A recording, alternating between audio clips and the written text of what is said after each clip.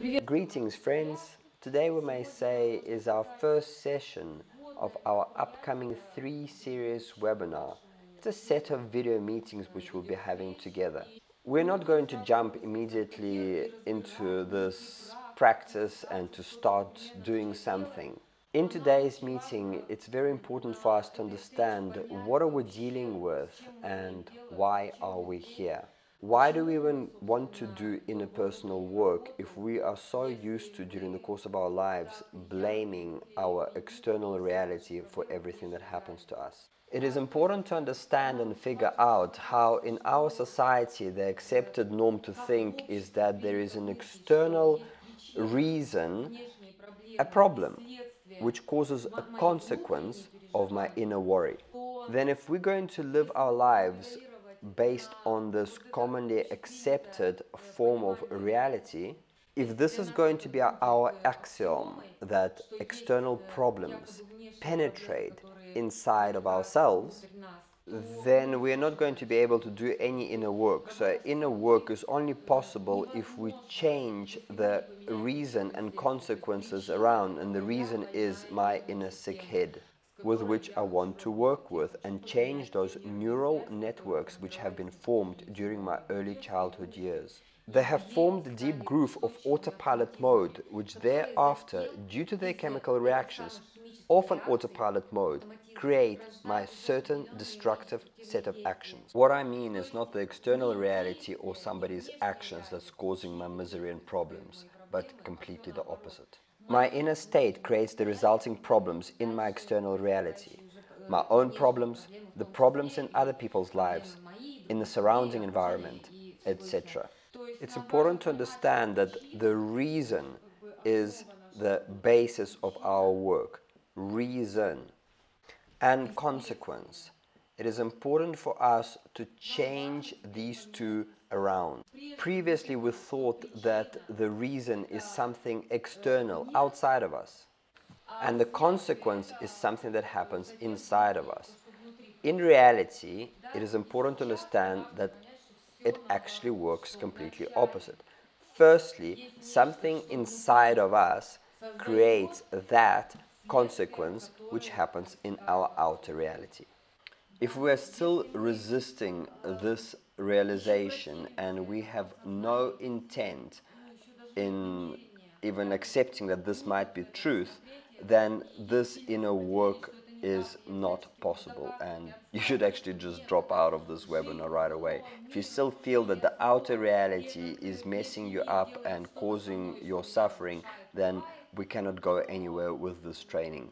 Yeah, we cannot carry on moving forward um, without this realization this is going to turn into some cheap psychological game which is very fashionable in the New Age movement, New Age spiritual movement to proclaim as uh, truth.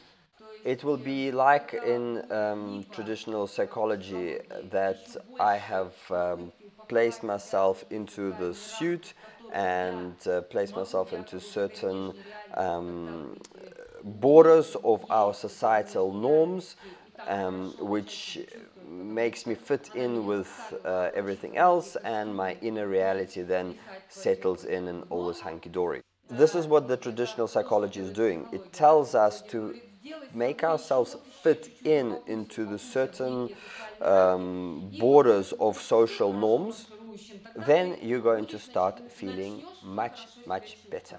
And the New Age movement tells us that we are going to dress in white clothes and rise above all of this and just look at the whole thing from right above the bird's eye view. We keep on stubbornly repeating that this does not relate to us at all. Yes, we are part of society, but it's all in the past. It's not what's paining inside of us, which is the same pain that overwhelms our entire society. It's either something that's linked with various forms of escape from our inner state or various forms of molding ourselves into new social frameworks. Then in both cases, it will be just a continuation of various forms of escapism. Escape and nothing else. Run from the inner pain that's happening within me always run, and never actually take the time to stop and see what is actually happening within me. No, no, it's not with me, it's with external reality, and that is why I'm feeling so bad. No, no, it's me feeling horrible, which is causing my external reality to worsen and make myself feel even more horrible. This is the starting point and it's the basics 101. We cannot even look at the law of polarity and all of its mechanics from which actually occurs our entire internal conflict which we experience on daily basis, which creates continuous inner swinging on the scales of oppositions and inner conflict. The polarity in itself is a difficult concept to understand, and we will be spending much time on this important subject during our upcoming masterclass. We need to figure out how we continuously look for the antipod opposition towards something we believe in, with which we have a continuous war on. We transform it into a battle with the external, and again and again, we do not understand how we create inner anxiety, our unsettling feeling, and inner discomfort, and at the end of the day, our great depression. So I'm just going to repeat myself. First, we realize that the reason is actually within us, and therefore the consequences ricochet on all of our external relationships. The reason is the feeling, the feelings which I generate from my programs, the feeling of deep discomfort and permanent fear. Therefore, my feelings birth my actions, very certain actions which are the consequences and the result of my inner state. And these actions, therefore, then create various forms of external conflict. But the conflict is actually on the inside of us. It's duality, part of polarity. So let's just summarize what I've been talking about. We are dealing with the most complex internal mechanisms which have which have been stamped and imprinted into us and are working in autopilot mode. If we do not realize how the autopilot mode is working, we cannot do anything with our state or with our life. Therefore, the only thing we can do in this case is to slowly kill ourselves with neuroleptics, um, alcohol, um, drugs, weed, and basically kill ourselves slowly. So it's the shortening of uh, our life step by step every way and bringing the death process much sooner. There is no other choice. However, if we do want to flourish, we've got to look inside of ourselves to understand what is really going on inside us.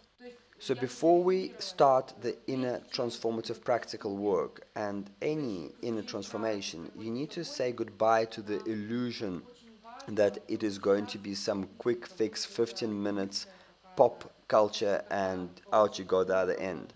Therefore, if we're still looking for some magical ways or wand to transform our inner reality, I mean internet is overpumped with numerous amounts of promises uh, claiming that you can transform yourself within minutes. Everything you have been forming your entire lives.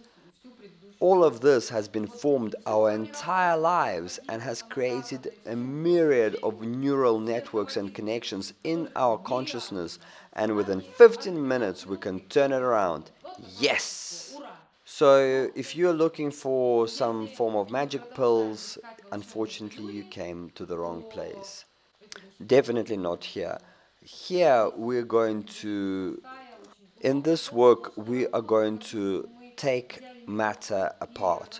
First into cells and then the atoms, and then we're going to look at every step of the way deeper and deeper to see how the processes and networks have been formed. So we're going to split it up into the tiniest of the tiniest of details. This is the type of work we have to do in order to look into our programming, which happens on autopilot mode, not in time and space, but really in the moment. So in order for us to freeze a moment and to unwrap it step by step to see how it was formed, it's not an easy work, but incredibly fascinating and interesting. It will turn around and come back with really awesome, mindful state without any bull or exaggeration, just deep, graceful state. It will unravel gently, step by step. Let's go on this journey together.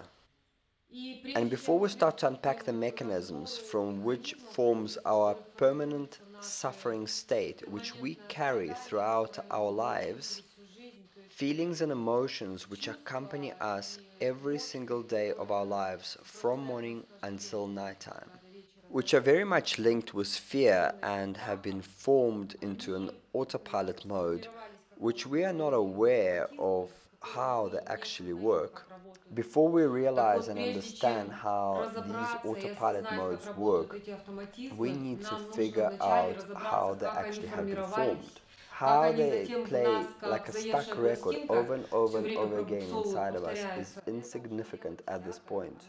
In the beginning, we need to understand how this has been formed within us in our childhood years, especially early childhood development years, and formed and imprinted into emotional clusters. For now, at least, we need to make a surface level observation of our lives in order to understand this. It doesn't matter in what country and what time has the person been born because at the end of the day the same programs are stirring up inside of all of us. Thinking that it is my personal pain which I drag throughout my entire life, in reality it is our collective pain. The programs are all the same. So when we say that this individual is carrying his own burden, it's an illusion. It's not true. When we're going to unpack the root of pain, we're going to see that it's the same in everyone. So if we just discuss it just on a surface level, we need to understand that from the early childhood years, everyone is formed in the system of appraisal and marks. The parents, on the other hand, are not doing this on purpose in order to mess up their own child. You're good, you're bad, in order to cause the pain.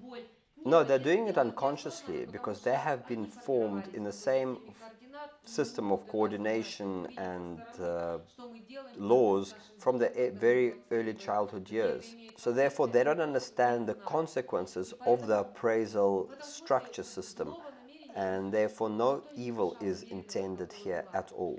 But even without bad intent, the transmission of this message over and over again towards future generation has happened unconsciously.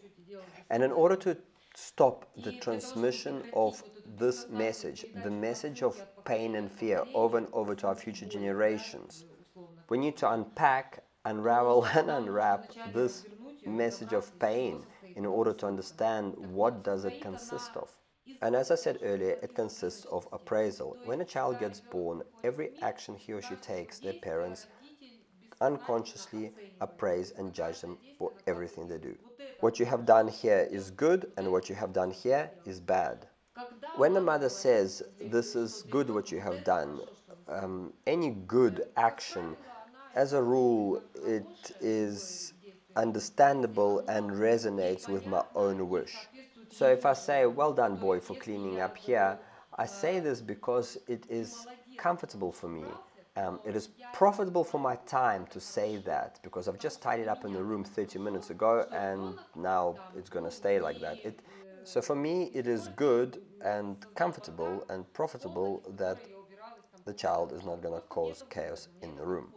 This is not a very good example but just for the simplicity's sake. So why am I constantly giving a praise to my child? This is good because it creates comfort for me. And when the child takes out, let's say, a whole box of Lego out just so he can start his creative play process, um, if I'm an unconscious mother, I will say, no, no, no, this is not good. And without understanding what is standing behind this uh, negative put down on my child. It was this simple pushing down and um, judging my son for taking out his toys. I kill the creator, the investigator, and the researcher in him instantaneously. Because during my childhood years, I was appraised for doing the right thing. How mommy said to me, the correct way. And like this, it's not the right way. It's not right because I need to tidy up once again. Once again, this is a very primitive example, but what we need to understand that the child is step by step every way is slowly killed.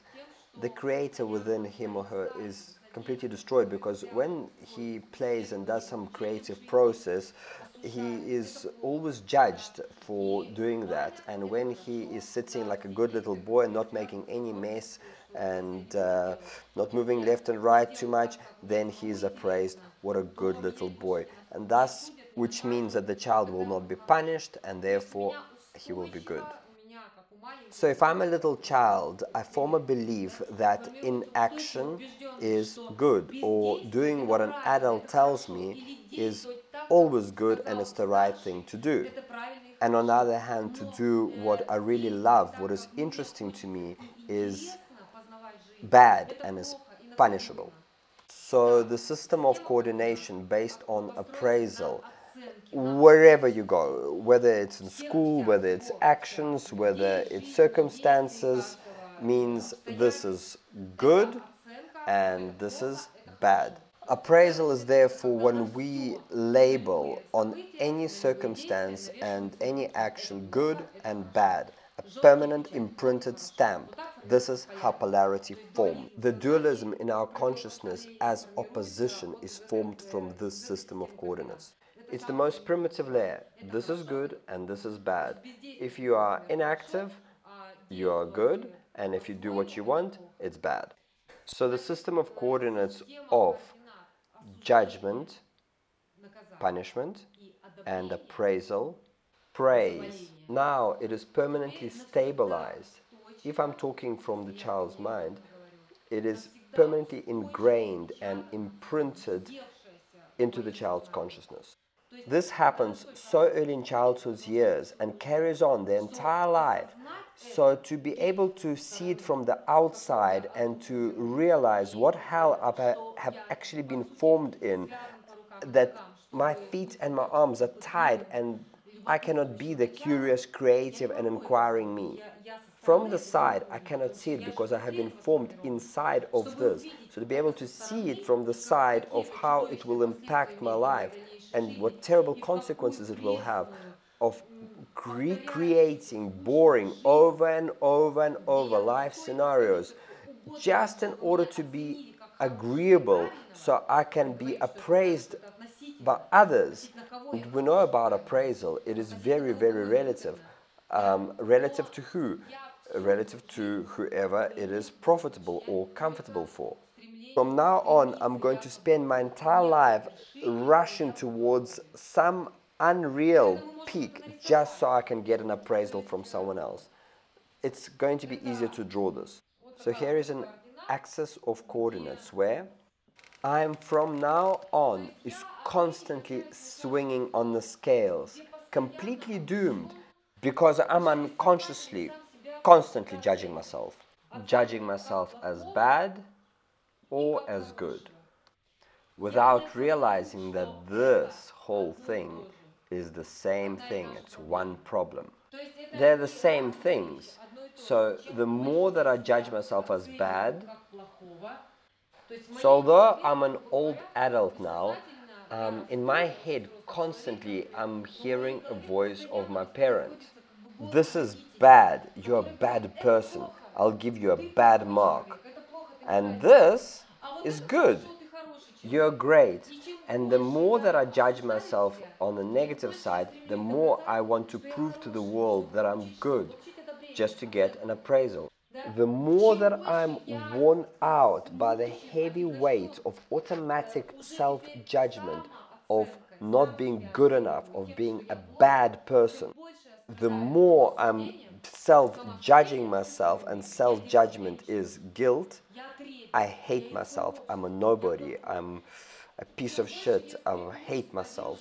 On the other side, the need to try and get approval and appraisal from others because I'm good increases. I'm totally doomed to be torn, trying to figure out what type of nobody am I or who am I and what am I and this creates this unseen spiral throughout my whole life, which, like a pendulum, swings higher and higher into this internal conflict. And therefore, the more that I am claiming and affirming that I'm a genius, I'm good enough, I'm awesome, I'm great, I'm incredible, and the more horrible my situation actually becomes because all of this affirming is actually happening because I deeply hate myself. Because I'm feeling a huge feeling of guilt.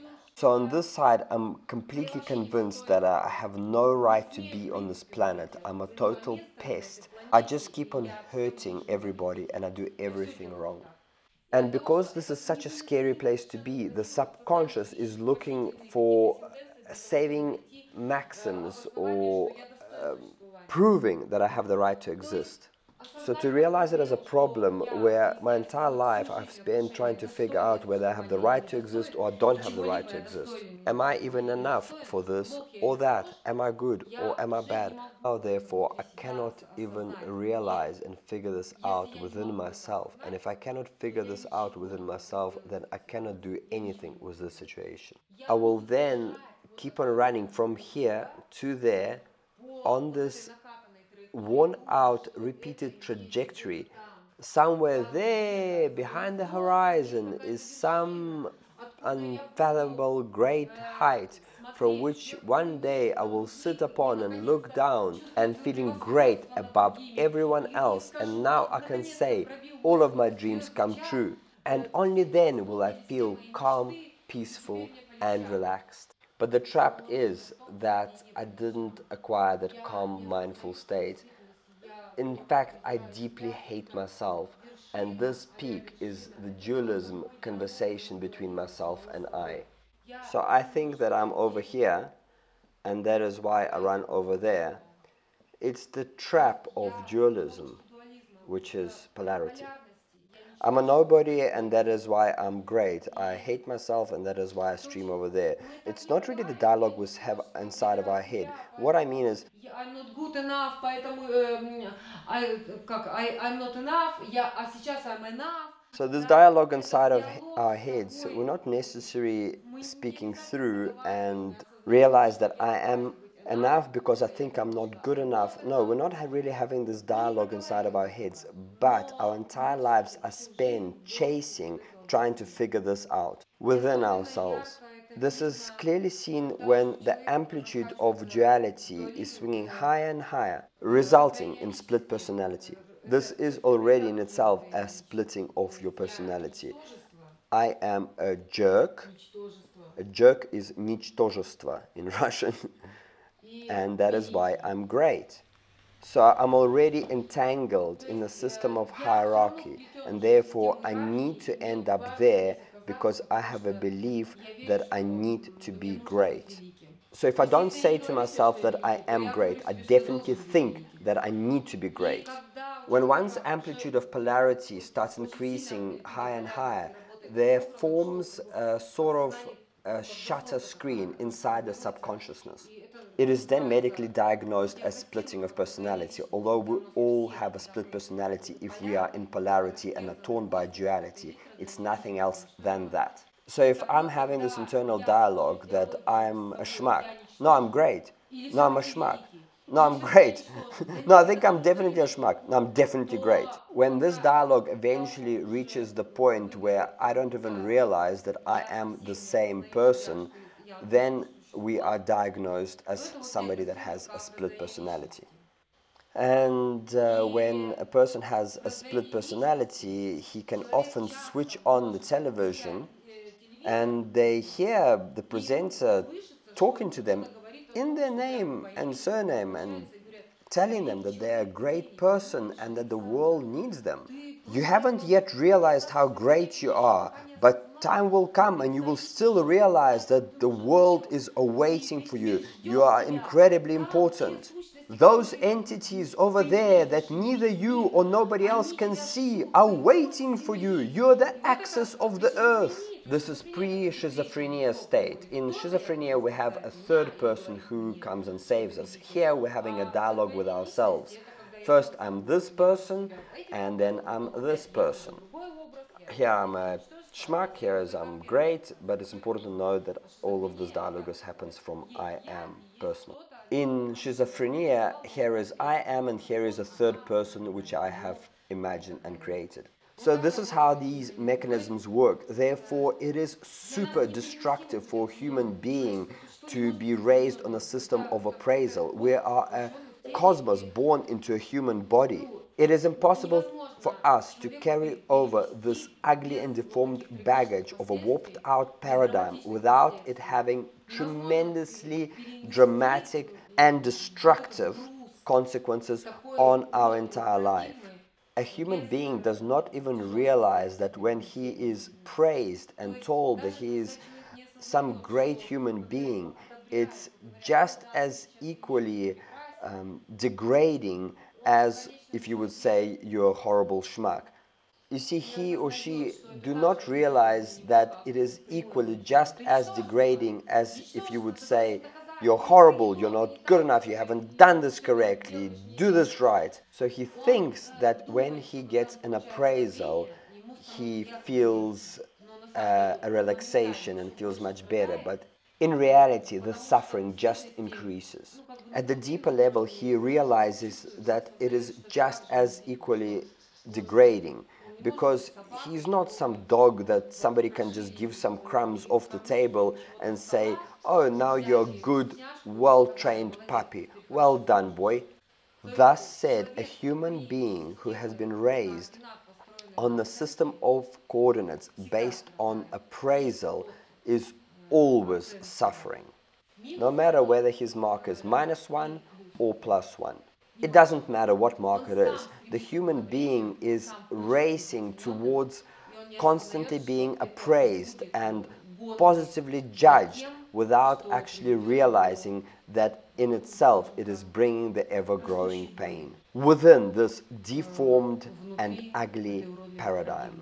So the question does not stand whether I can adapt within this messed up paradigm and live like everything is hunky dory when I end up at the high place here. No, this is not the case. Even if I end up right on top of the world, I will still hate everybody else because I will use them to affirm myself. Therefore, we are within a hierarchical system. Whether we put it like this or whether we put it like this, it doesn't matter. We're still split in the duality of the hierarchy. Thus, we will keep on suffering within the duality for as long as we are living within a hierarchical polarity duality paradigm. No matter how this is called, there are so many words, but in reality, it's also simple. It's really very simple. It's the system of appraisal. An appraised human being can never be truly happy. And to say this to ourselves is extremely scary let's try and think why is there so much resistance and aggression towards this information? In my trainings people have cried they have laughed they have screamed they have even run away because they realize that they're living within the system. So then what can i do with this? Everything is locked within this. Everything is based on hierarchy and polarity Everything is based on opposition and the kick we get when we suppress the others. So I'm either the suppressed one at the bottom hating everybody else above me, or I'm the one on top hating everybody below me because I am just affirming myself by standing on their heads. And when we realize that this is a collective disease and to try to work with the external factors to try and figure this out, it's completely impossible. Therefore, if the sick in the head me is going to try and create an eco settlement or an eco village or some new paradigm without realizing that I'm living within the sick paradigm, I will just recreate the same broken system. And if I say that this is going to be the new system, it is still a system. And all systems are based on good and bad duality of polarity. It's basically I'm going to become like another educator telling people what's the right thing and what's the wrong thing. And it's the same system that I will carry over to my own children once again. I will force my children to suffer from appraisal and praise. I will thus turn my children to be the slaves of this movement, the fear to be humiliated and the race towards someone that is so great at the top of the world, someone that society deeply admires and looks up to. And this nightmare will never end. It will only end when we start to integrate this.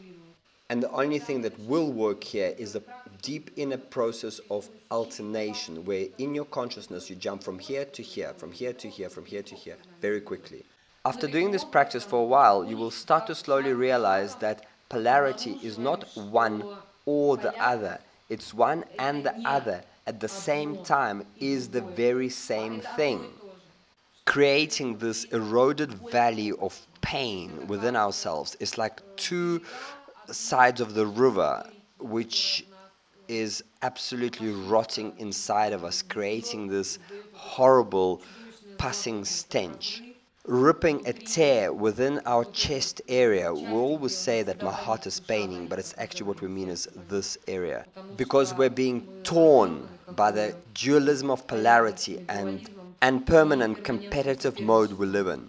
This war firstly happens within ourselves and then with the rest of the world. I will see you in a week's time. Thank you.